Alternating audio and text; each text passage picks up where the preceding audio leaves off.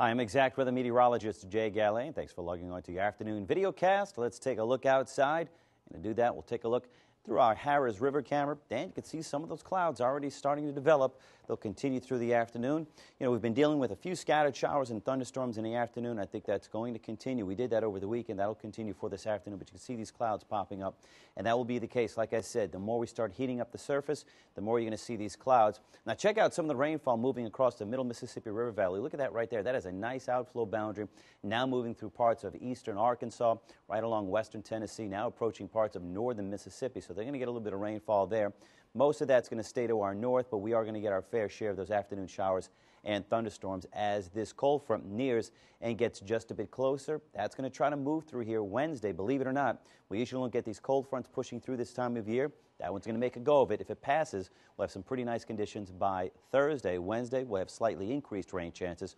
We'll show you that when we take a look at the forecast model and your seven day exact cast, but it's been warm. 89 degrees was the high yesterday, the average 83. So staying above the average as we've been doing, and I think we'll do that again today. Looking for another warm and humid afternoon. Scattered showers and storms are on tap by Thursday as that front passes. Not going to be as warm, and we'll deal with a little bit less humidity. Here's the forecast model. 1 o'clock right around Terrebonne Parish. You see that bullseye there? That's going to be a thunderstorm right here next to uh, Tangipahoa Parish coming in from the north. Probably a little more thunderstorm activity. Putting rain chances at about 30%. Then we'll dry out overnight tonight, leading to tomorrow morning. Maybe a few coastal showers tomorrow afternoon. You see it once again. And kind of moving to our summertime pattern now as we get into Wednesday. There's your cold front right here as it moves through. This is noon.